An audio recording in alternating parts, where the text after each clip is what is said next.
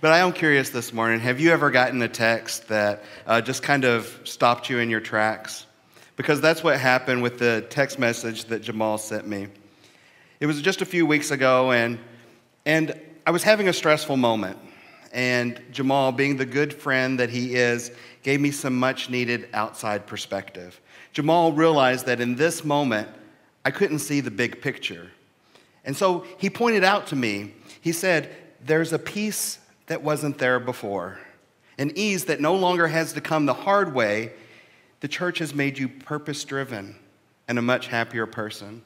And so I'm wondering well, first of all, it's no casual observation because Jamal has known me far longer than I've been coming to UUCA. And perhaps one of the reasons that the message struck me was actually how the sentiment in one of the songs mirrors a line from For Good, which Laura and Don just sang for us earlier. Perhaps that line stands out to you too. But because I knew you, I have been changed for good. But because I knew you, I have been changed for good.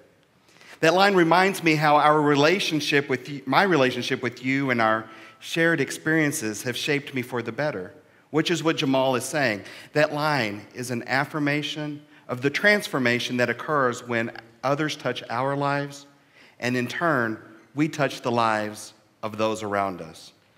And as I read Jamal's message, it was as if a key had turned in a lock, opening the door to an undiscovered room. Despite my stress, he saw the undercurrent of immense joy that I'd been able to tap into over the last few years. He'd, he'd, his insight reflected what I'd already discovered my purpose, and thus the joy witnessed was found in being a part of something bigger than myself this church, this community. Today, I am actually, I'm super eager to share with you the potential of unlocking your power of purpose, just as I have. Now, I want you to think have you ever had moments when you, like me, you were chasing happiness? only to return empty handed. I don't think it's something unique to me. I, I, think it's something that we've all shared at some point or another, isn't it? I mean, Jamal was right. Since coming to UUCA, I have learned to listen. I have learned to judge less, and I've grown more aware of the varied paths that each one of us tread. Some, like mine, are clear and open, while others, they're obstructed by prejudice. And now that I recognize my privilege as a white male born into and identifying with my assigned gender, I'm committed to using that advantage in a straightforward and effective way to champion fairness and inclusion for all. And with you, I've, I've learned some deep strengths. Real strength, it isn't about control, it's about resilience, it's about adaptability. And vulnerability, it's not a, weaken, a weakness, it's a testament to our shared humanity. Through this journey, I've learned to embrace vulnerability. When my energy is depleted, concept that the old me would have fought truth and now. And in the journey, I've discovered an unexpected gift. I've found happiness, not in accumulating money or possessions or awards, but in the deep, lasting joy from self service, selfless service.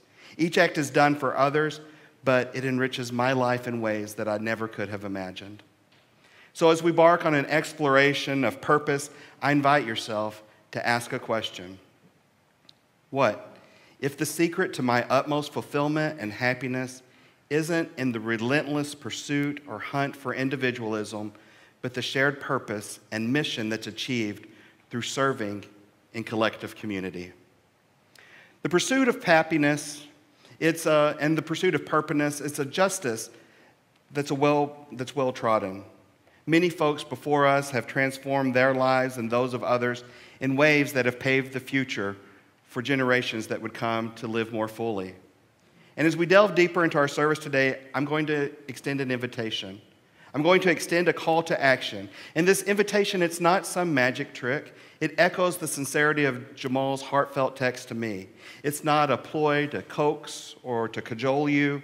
It's just a call to purpose and to embrace it and see the power that can spring from that call.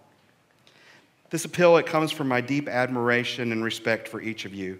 It is born from the countless moments of shared joy, resilience, and transformation that I've seen in you. Now, whether you accept or decline the invitation that I'm going to give you, I want that decision to be guided by your convictions, just as mine has been. So, I want to be completely transparent though. I'm going to do my best to convince you that you are perfectly positioned to accept my invitation. There should be no question of that when I'm finished. There should be no question. And I'm going to be as persuasive as I possibly know how to be because I want to convince you that this quest will change your life for the good. But hey, as Unitarian Universalists, I know you're not going to fall for any mental jujitsu. You're savvy folks, so, um, so we're all on the same page, right? When I extend my invitation, your yes or your no will reflect your convictions. Does that sound good? Yeah. All right. Friends, our journey, it has been one heck of a ride, hasn't it? Oh my gosh. I mean, we have weathered turbulent times, to say the least, political upheavals, pandemic challenges, societal shifts, and somehow, somehow we found the time for an existential crisis or two. Amidst this, I just want you to know that I have been privileged to share space with you. I've witnessed your unwavering ability to listen, to empathize, and to support each other as true servant leaders.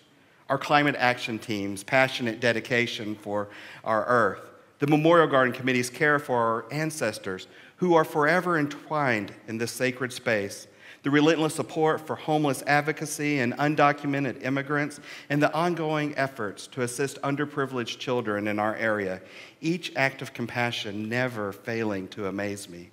From our toll free pastoral care line to our baking ministry, which bakes pound cake so delicious it feels like a hug. You know what I'm talking about. And did you know that our caregivers team takes that pound cake and they deliver it to homebound congregants? When I say I see you, I really do. I see the incredible compassion and community that you nurture through your actions, your gatherings, and your collective endeavors. Within our beloved UUCA, we have over 30 groups that are flourishing, each contributing unique threads to our vibrant tapestry. And though we can't name each one today, I want you to know that your dedication and your passion, they move me. Together, all of us, we are continually creating a sanctuary of love, hope, Reverend Baird, and action. As we gather here today, I want you to know that you hold a special place in my heart, and that is the reason that I serve. Let's add some perspective and depth to this story, though. I mean, the Unitarian Universalist Congregation of Atlanta has been here for 141 years, but I want to focus on just the last five. Because just this last five years, it's been an odyssey. It's required immense sacrifice and courage. And yet, through it all, we have grown stronger, more compassionate, and more unified. Would you agree?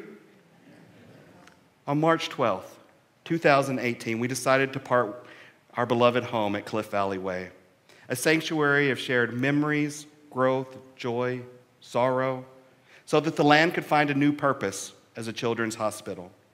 The parting was bittersweet, for every corner of that space held a shared piece of our history. Our new home, a mundane office park, was a stark contrast. I mean, it was an unexpected pit stop. It tested our faith, our resolve. We called it the treehouse because we could actually see branches between the metal blinds on the second story windows. But I've often wondered was there a deeper acknowledgement of our unforeseen journey roaming in the wilderness. Was that why we called it the treehouse? Because we found our congregation in Exodus for nearly four years, wandering and yearning for a permanent home. And during this transitional phase, we faced yet another trial the unexpected departure of our senior minister of 12 years. We were put in the barely conceivable position of needing to search for both a home and a senior minister, which could have been a recipe for disaster but our resilient and proactive community saw the beacon of hope that was in our own Reverend Taryn. Our congregation, demonstrating profound wisdom, swiftly made her our senior minister. This wasn't merely a promotion, I believe that it was an astute strategic move, a clear testament to our faith in her leadership. And with her unwavering grace, her inspiring vision, Reverend Taryn led us through the wilderness, her resilient spirit sparking hope amidst the challenges at hand and those yet to come. In this uncharted territory, we continue to defy the odds, Do you all remember this little gem? We hired a well known fundraising consultant to come in, and they d- delivered woefully dour news that we weren't going to come nearly close enough to create our new home, to renovate our new home. And then, almost simultaneous to that news, what happened? The world, it shut down due to COVID 19. What was our response? Resilience. That was our response, resilience. We would go on to astound them by raising $4.2 million amidst a global pandemic. I mean, we did what they said we couldn't. We raised $2 million more than their prediction. Quite a feat, I'd say. And with these funds and the support of our endowment committee, we built this. We built this, our new church campus. It's a physical manifestation of the dedication to radical welcome, to accessibility and inclusivity. From pandemic related labor shortages to supply chain disruptions, we navigated and we overcame every challenge before us. I mean, you've all demonstrated, you have demonstrated the remarkable power of collective action through your commitment to a shared vision. And here we are. Here we are on July 23rd, 2023, basking in the comfort of this beautifully renovated sanctuary nestled on our 4.2 acre campus, and it feels pretty darn good, doesn't it?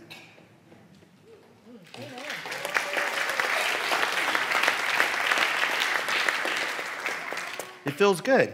But as we sit here now enjoying the fruits of our shared labor, I do believe a question persists a question of purpose, a question that begs, what's next? What new challenge awaits us on our shared path forward? Well, I'll give you a chance to kind of contemplate that question. What new challenge awaits us on our shared path forward? I, I believe the answer is likely tightly, is tied squarely to the harsh realities confronting us. You already know we're grappling with the surge of nationalism, threatening to undercut our fundamental freedoms. Anti LGBTQ plus legislation in all of its forms bombards us. It seems to forget the lessons of the past. And as I stand here in 2023, it is disheartening to see the disparity between the march of time and the backpedaling of social norms. Anti LGBTQ legislation, it casts an ominous shadow over most of our states. And as your proud out and gay guest preacher here this morning, it's incumbent upon me to ensure that you understand the gravity of what we're up against. Already this year, a staggering 41 states have proposed measures aimed at marginalizing and alienating me and my LGBTQ plus siblings. Do you hear me? I mean, we started this country with only 13 colonies, yet today we find ourselves with only nine states refraining from proposing any of the 525 anti LGBTQ bills this year. And even more disheartening, a record breaking 80 of these bills have already become enacted in just these last few months. It's not that they're just proposing them, they are enacting them. We also we can't overlook the interconnectedness of these assaults. Tennessee and Florida, for instance, they've manipulated legislation to muzzle our educators. They're barring them from acknowledging the struggles and achievements of the LGBTQ plus community. Florida Governor Ron DeSantis, he waves his Don't Say Gay bill as a campaign trophy. It's a flagrant affront to the dignity and rights of our interweave community. This disturbing tide of vitriolic political posturing, it inflicts real harm on real people. I've had friends resort to self harm and commit the worst to escape the relentless judging and persecution. And today I'm here preaching my heart out to you because I'm saying to you it's simply untenable. Amen? This encroachment.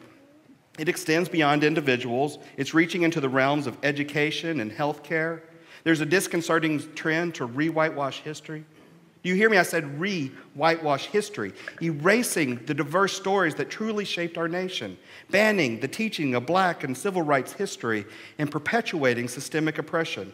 But it doesn't stop there. It's also an insidious attempt to obscure the richly woven tales of our Asian and Latino communities current events reveal a stark and unacceptable reality because their stories too are being squeezed out, their contributions conveniently forgotten, their struggles dismissed. Yet these are the stories that have given color and depth to our shared American tapestry. They deserve to be told, they must be heard and remembered. they can't be buried underneath a single dominating narrative. Meanwhile, vital services like gender affirming and abortion care are being cut, leaving vulnerable communities without critical support and personal autonomy. According to the Human Rights Campaign, these incidents, they're not random. They represent a carefully coordinated attack orchestrated by a network of conservative organizations that are supplying cookie cutter. I mean, they're literally copying and pasting legislative weaponry and putting it up for vote in our state houses. And amidst these tempests, with all of that going on, the United States Supreme Court has become complicit, aiding and abetting the erosion of our rights. Present rulings have permitted the denial of service to LGBTQ plus individuals. They trampled the landmark ruling of Roe versus Wade. They've dismantled affirmative action in university admissions and rejected student debt relief. Who do these actions hurt? These actions only deepen systemic inequalities. They hinder progress for our marginalized communities. Breathe, right? Breathe. You know, this isn't a call to panic.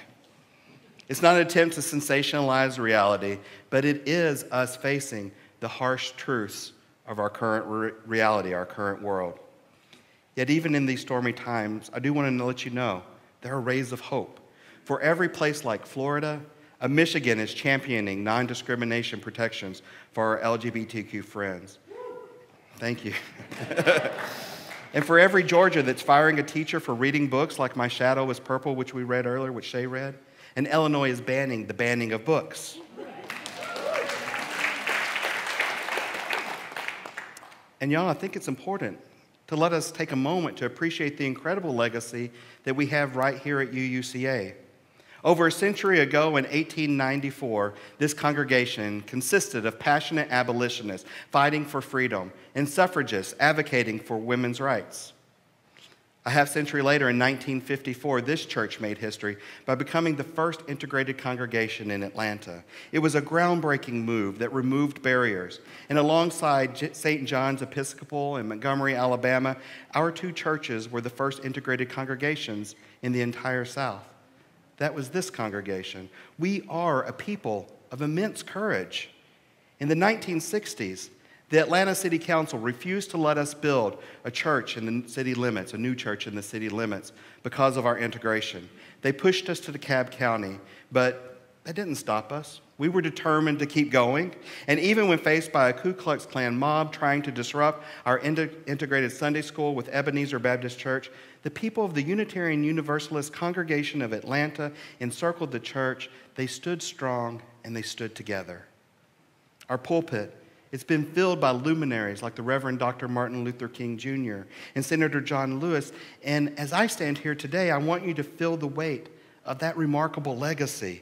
It's an honor, my friends, to work here and to be a part of a legacy that's so truly special.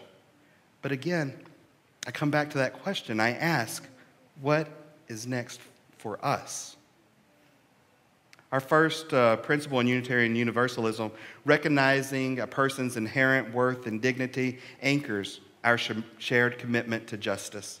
This belief in a diverse and interconnected community is expressed not just in our words, but in our actions. Is this not our clarion call? We absolutely should ask ourselves what stops us from being a beacon of change in these challenging times? Can't we transform our campus into a home for community organizing? Could this campus be a training ground for social justice leaders, much as our Appalachian neighbors, the Highland Folk School, did during the civil rights movement? Are these acres of land not able to provide sustenance, a flourishing community garden for those in our area? We stand on the shoulders of the Unitarian Universalists who came before us. They brought lasting change. And what did I tell you earlier? I told you that I see you. I see you every day. In fact, I have the best seat in the house for witnessing you, and I believe in my heart that you are cut from the same cloth as the UUs who came before. Their legacy, it thrives within us. And I'm preaching and I'm proclaiming today that we too can shape this world for the better. So today, let's open our hearts and consider what actions that we as a congregation can do to counter the rise in anti LGBTQ legislation? How can we ensure that African American history is represented fully and truthfully in our schools? How can we amplify our voices against the unjust reality of mass incarceration? And importantly, how can we champion the rights and accessibility for our disabled siblings, not just in this sanctuary, but in every aspect of society? We are confronted with a multitude of injustices, and while we cannot tackle everything at once, we can identify the intersecting areas where these issues, and then we can discern where it is that our collective passions lie.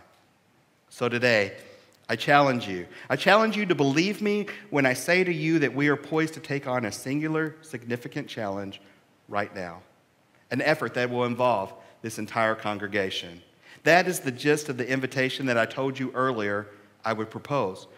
But my actual proposal, it's, it's more inviting. I'm actually only asking, are you willing to embrace the possibility? Friends, our congregation, it's extraordinary because of you, the exceptional individuals that constitute another emergency. Management alert. I'm going to go back just a second because this is important, friends. Our congregation, it's extraordinary because of you, the exceptional individuals that constitute it. Time and again, we've demonstrated that change is possible both within our sanctuary and well beyond. And as we stand today at the brink of new challenges, I implore you to embrace purpose. The very same purpose that has given me the deep and enduring joy I shared with you today at the start of this journey.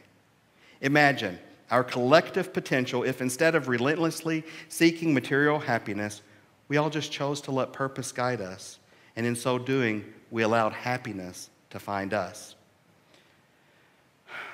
When the religious rights, when the religious right targets the marginalized, Unitarian Universalism, it offers the antidote. We offer hope. We ally ourselves with justice. We deliver a message of acceptance and a love that will endure if we proclaim it boldly Silence, my friend, is not an option. They are too loud, and our voices cannot be left to be drowned out. There is simply too much on the line for us to sit here comfortably. I stand here to say with utmost certainty that you are indeed the right people in the right place at the right moment in this crucial time. As we grapple with the challenges that we discuss today, let's remember our strengths. Let's remember our victories in this home that we've built. It stands as a testament to our capability and who we are as a congregation, a community of extraordinary individuals sparking remarkable change. Our shared purpose, it enriches lives and brings an unexpected reward, deep and enduring happiness, a joy that emanates from service, understanding, and love. Happiness that stems from purpose. And that is the invitation that I extend to you today. The only question left is will you say yes?